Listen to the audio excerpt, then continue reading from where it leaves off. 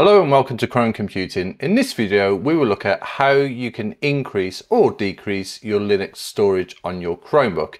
Chromebooks today are a lot different to how they were quite a few years ago. You get quite a lot of local storage now on premium Chromebooks. And the reason for that, for this, for example, on my Chromebook here, I've got 256 gigabyte. You can get even more than that now. The reason for that is because they come with Linux and Linux apps use your local storage.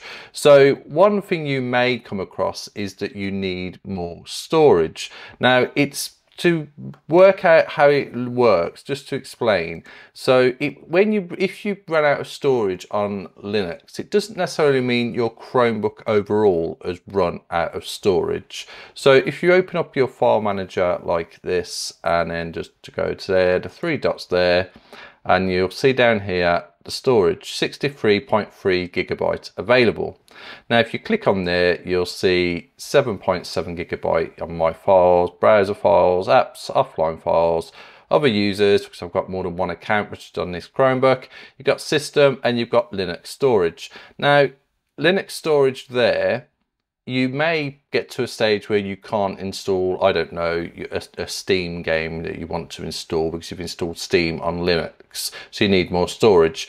If you do get that warning, don't just assume you run out of storage on your Chromebook because if you've got availability, availability like you'll see here, you haven't. You just need to change the Linux container size.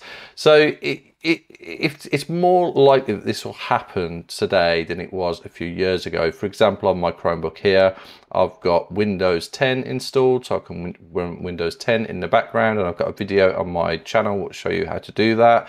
And I've also got Steam installed, and when I installed Steam, I've installed Anno 27 locally, so I can play Anno 27 locally on my Chromebook. All of that's going to take up space.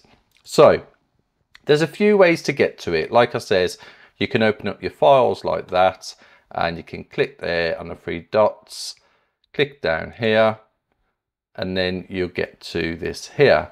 However, all that really does is takes you to storage management. So to get to storage management from the settings menu, all you would do is click down here, go to settings, and then just scroll down here and you'll get to storage management. Click on there and you've got to the same location. So there's two easiest ways to get to this location. Okay, so to do the change in storage, just simply click on Linux storage like that, and you'll see here this size is 90 gigabytes. So just click change like that, and it will allow you to at least 10 gigabytes of space is recommended for Linux and it's saying I could this is resizing by the way. So do not assume that as you can see I'm currently using I'll just show you 90 gigabyte of disk space. When you click change it doesn't mean I'm adding 33.2 gigabyte onto the 90 gigabyte if I click resize. That would actually decrease the size of my Linux container. So if I wanted to, I could decrease it like that to whatever I want it to be.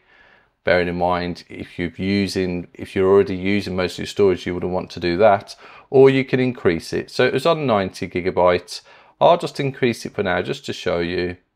And we'll put it on to, see if I can get it spot on 100. So now it's on 100 gigabyte. If you hover over it, you can see it's on 100 gigabyte and then simply click resize and that's it it's done. So now your disk size is 100 gigabytes.